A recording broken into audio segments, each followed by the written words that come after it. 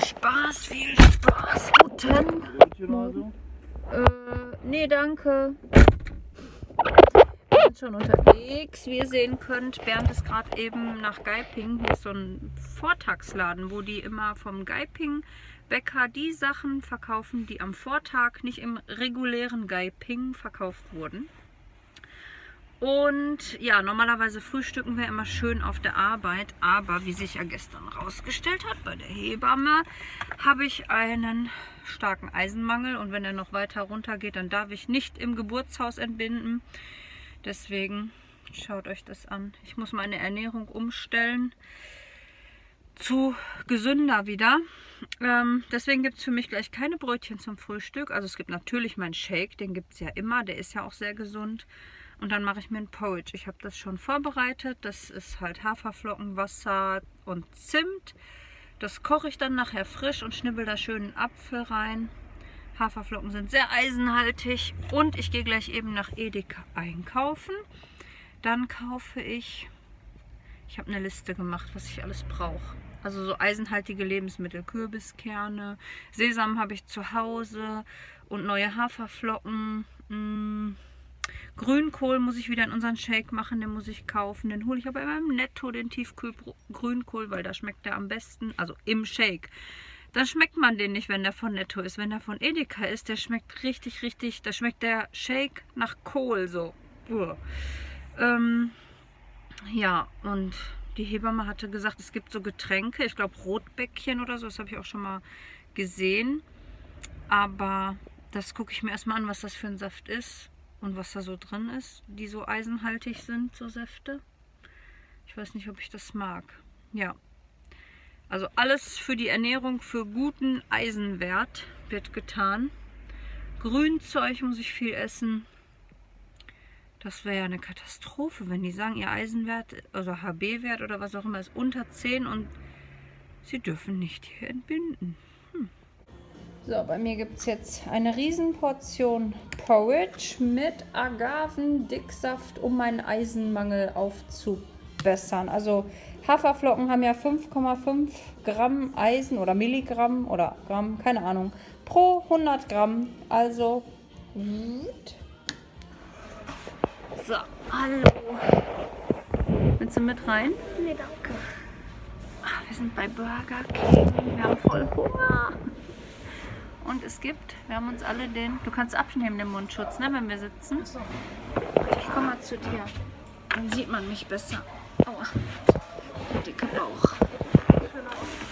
So, weil das Licht jetzt von vorne kommt. So, gestern gab es kein Video, weil die Mutti lag flach mit, mit Körperbefindlichkeiten. Ich hatte voll Kreislauf gestern, deswegen konnte ich nicht vloggen. Und heute, jetzt haben wir schon wieder 14 Uhr irgendwas, ne? Ja, Guck, guck mal auf deine Uhr. Ja. 14.50 Uhr? 15. 15, ja, es ist schon spät. Weil wir so großen Hunger haben, sind wir jetzt nach der Arbeit, nach der Schule einfach hier nach Burger King gegangen und haben uns diesen Plant-Based Burger und die Nuggets wollten wir mal probieren, diese Plant-Based Nuggets. Und dann geht's da im Baumarkt. Hier ist noch ein Baumarkt gegenüber.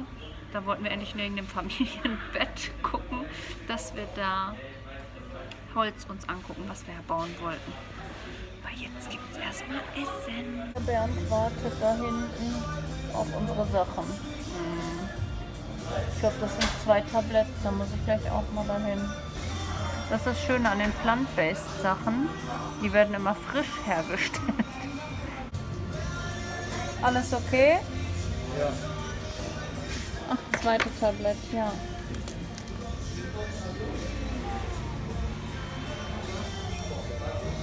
Dankeschön. Werden wir auch alle satt, ne? Warte mal, ja. Du nimmst auch Fanta? Ich auch. Zeig mal her, die kleinen Dinger. Ach, das sind die. Probierst du die Nuggets?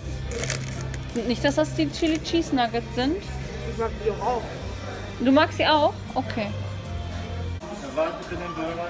Was ist? Erwarten welcher mit Gurke und ohne Gurke ist und Gucken kann man nicht. direkt schon. Da auch rein.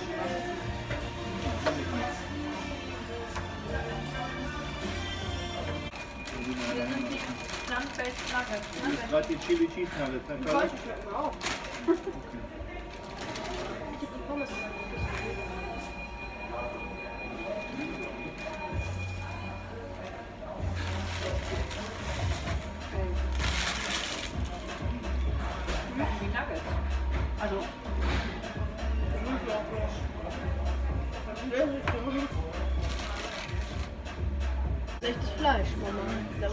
Nein. Das sieht so aus, das Nein, riecht die aus so Milchpulver, die sind ja auch ohne. Die haben alle im Internet geschrieben, dass das so, das ist wirklich total realistisch und alle Veganer und so haben sich gewundert, was damit ist. Dass sie so echt sind, so authentisch. So, das Essen hat überhaupt gar nicht geschmeckt. Widerlich. Also die Pommes waren ranzig, die Nuggets waren ranzig. Also nee, diese Plant-Based Nuggets waren lecker, aber diese Cheese, Chili Ja, Cheese Nuggets, die waren so, Scheiße. so. uh. Ja, egal. Der Calvino hat sich gefreut, der isst alle Burger. Und jetzt geht's in den Baumarkt. Dreimal falsch. Ja, das stimmt. Bernd mag keine Tomaten und Gurken. Dann haben sie erst mitgemacht. Dann haben sie ohne gemacht. Dann haben sie die Zwiebeln auch weggelassen. Haben sie wieder mitgenommen. Ich glaube, am Ende haben die schon mit drauf gespuckt.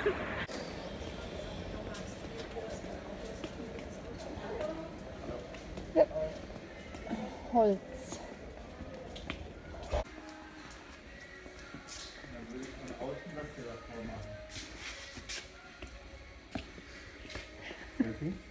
Happy mit deiner Frau ärgern?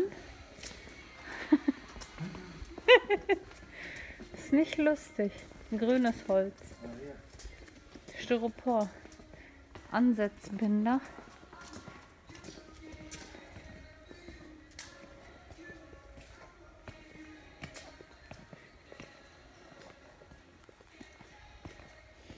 Das haben wir jetzt gleich, ne? Ja, müssen wir ja. Das nutzt ja nichts. Die haben kein Holz außer Latten, was du gerade gezeigt hast.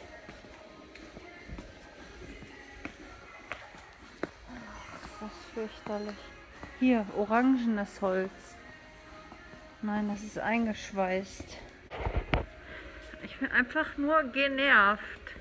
Was, mit wem schreibst du denn da jetzt? Mit Kunden, mit allem möglichen. Mann, jetzt leg doch mal beiseite und glotz doch bitte nach Holz. Bitte. Prost. Nicht schlecht von dem Schwammel. Meine ekelhaften Essen. 35 Euro haben wir bezahlt für nix. Hat echt nicht geschmeckt.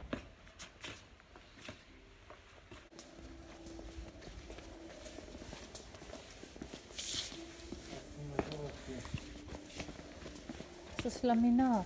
Ist auch gut. Du willst so Nein, will ich nicht mehr erinnern.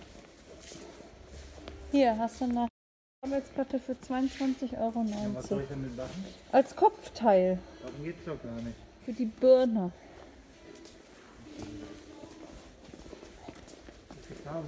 Weiß. Weiß. Weiß gleich in Kick und Kaufmann. In Kick. Ja. Kickfest. Hallo, haben Sie Betten? Das ist Laminat. egal, wenn wir die Augen zu Schlafen.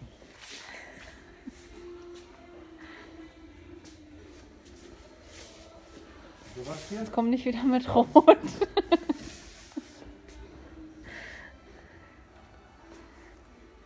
Hallo.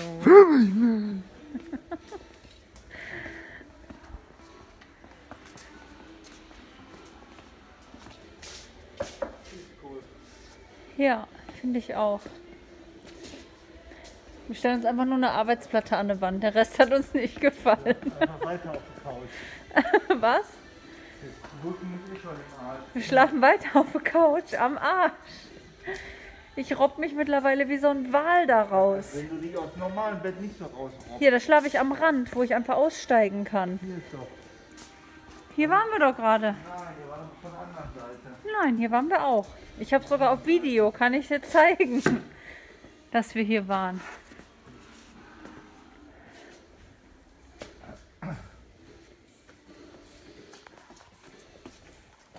Nicht gut?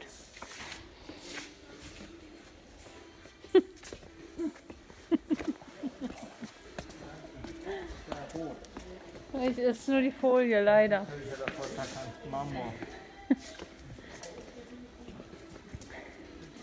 Können wir jetzt gehen oder müssen wir noch drei Runden hier laufen?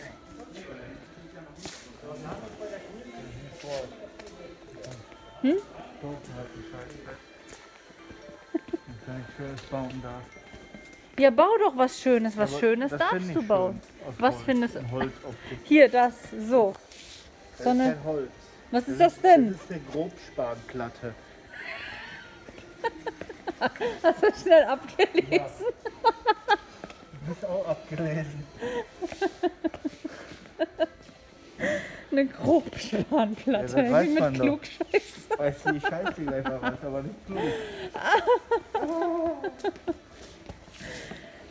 Hier, Ein Zaunbett. ein. Ich will einfach was Schönes bauen, Mensch. Ja, bau doch einen Hühnerstall. Irgendwo, einfach in irgendeinen Garten. Ich baue dir einen Hühnerstall. Im Dachboden. Auf dem Dach. Ja, für den Teppich. Ich brauche keinen Teppich. Schlafen auf dem Teppich einfach. Pass auf, hinter dir ist einer. Nein, gar nicht. Doch, da drunter. Ja. Dazu muss man sagen, dass ich nicht so überzeugt war davon, ein Bett selber zu bauen. Ich. Jetzt zeigt er mir hier Klodeckel. Man kann dich nicht mehr ernst nehmen. Ist eine Ein-Mann-Sauna. Warum mich auch ernst nennen? Also, ich habe gesagt, lass uns besser bei Ikea zwei Betten holen und zusammenschieben. Boah, das ist scheiße. Ja, aber so ein Grobspanplattenbett ist auch scheiße. Ich will auch kein Grobspanplattenbett. Das ist hässlich. Also. Nein? Möchtest du erzählen, was du heute gemacht hast am Haus Oh, hier ist ein Relaxo. und nicht gefilmt hast oder hast du mitgevloggt? Hier, guck. Nein, er hat nicht mitgevloggt. Der Bernd hat oben im Schlafzimmer die Fußleisten abgemacht und hat dahinter gestrichen. Dann können wir am Sonntag, wenn wir kommen, zum Haus das, den Teppich rausreißen und unseren PVC schon mal ausrollen, damit der sich setzt, weil der ist ja jetzt schon seit ein paar Wochen so aufgerollt. Und ja, dann braucht das eine Zeit, bis der sich so setzt, dass wir den Rand schneiden können. Ich war in der Zeit mit Smurfy und Calvin auf der Hundewiese und jetzt sind wir hier noch in Felder Und Wäldern. spazieren. 357. Der Bernd wollte schon Mundraub hier begehen mit der Äpfelklauen. Hab ich doch. Mama. Ja, Die ist ohne Witz eine mit 2350. ja super. Mutti egal, glaube ich. Mutti ist das egal. Mutti hat extra ihr Handy im Auto gelassen. Und wir haben ein neues Wort. Das Unwort. Schrammel. Schrömmel. Das neue Blacklinski-Unwort des Jahres. Tages. Müssen wir noch gucken. Ne, des Tages ist schon länger. Boah, hier liegen ganz viele Äpfel auf dem Boden. Boah, das riecht hier richtig nach Apfel. Boah. Das riecht hier wie früher bei meinen Eltern im Garten. Wenn die, wenn die Äpfel so auf dem Boden waren. So ein bisschen, ist das gegoren? Oder wie sagt man dazu?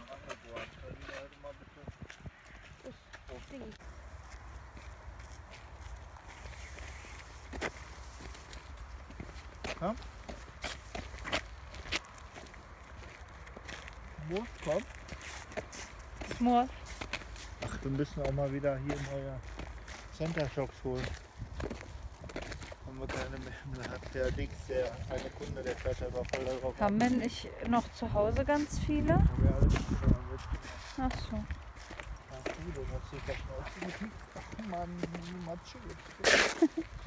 Ja, wir sind nicht angezogen für. Also keine Gummistiefel oder so. Haben sich beide erschrocken, die Kinder? Weil du so ge äh, hast. Beide geguckt. erschrocken. Ich dachte mir so, was ist jetzt falsch mit dem? Schrubbelgeräusche. Der Bernd hat Geburtsschrei gemacht schon mal.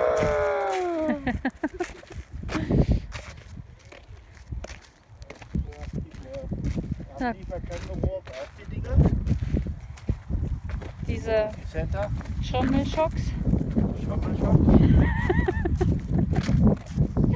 Ja. Darf ich da noch eben hinfahren? Ja, Jetzt im Auto warten. ja mache ich auch. Dann kommt ja das Schrümmelbild mit. Hör auf, sag das nicht. Ja, da weint er wieder. Auf den Trikot von BVB und Schrömmel. die Schrömmel drauf. FC Schrömmel. Der FC Eintracht Schrömmel. Unterhaching Unterhose. Oder machen wir uns alle drei Trikots Schrömmel. Ein Schrömmel, zwei Multischrömmel. Ja, bra- Kanal die Schrömmel. die Schrömmels. Können wir uns umbenennen, die Schrömmels? umtaufen lassen. Karl Schrömmel, Bär Schrömmel, Ela Schrömmel. Ja, aber Mr. Ragnar kriegt auch ein T-Shirt mit Ragnar Schrömmel. Schrömmel.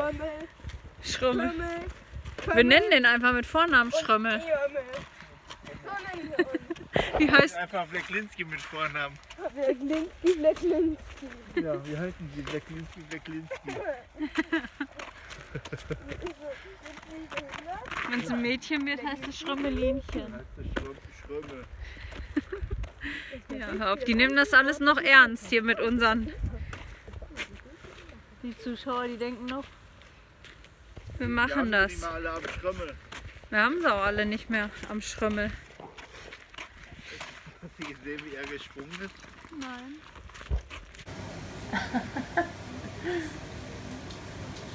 Gut, dass du den Riesentopf schon hast, ne?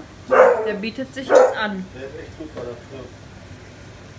Ja, das Bernd macht Krautwickel. Smurfy runter! Gehst du runter vom Tisch, aber ganz schnell. Oh. Gehst du runter. Ab, aber ganz schnell. Du alter Schlawiner. Richtig. Gowomki. Nein. Nein? Ach so, Vegan. Vegan. Vegan. Veganki, so heißen die in unserem Kochbuch, was Fertigstellung 2047 ist oder so. Man weiß es noch nicht. Und Da ist die Füllung, das ist Reis, Zwiebeln, Ein bisschen Spucke. Spucke auch, Bernd Spucke. Vegeta. Und Oder Allmann Vegeta Brühe. das ist einer von den Riesen, die sind ja wohl riesig, oder? Was hat 1,99 haben die gekostet, ne? Unglaublich.